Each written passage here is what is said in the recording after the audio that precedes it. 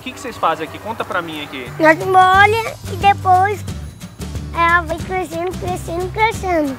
E depois que ela tá grande, E nós para de molhar. parou de molhar, o que, que faz? E nós comemos. Milhares de crianças estão cuidando das suas hortinhas. Elas estudam na rede municipal e participam do projeto Horta Escolar Conexão Alelo. As hortas começaram a ser montadas em abril e já estão sendo colhidas. Mas quando a gente não tem aula, o papai do céu que manda a chuva para elas não morrer. A ação já está fazendo diferença na alimentação das crianças. Muitos pais ainda vêm falar, falei, meu filho não gosta de verde, não coloca, né? Então hoje a gente já vê, eles já conseguindo né, se alimentar né, com o verde.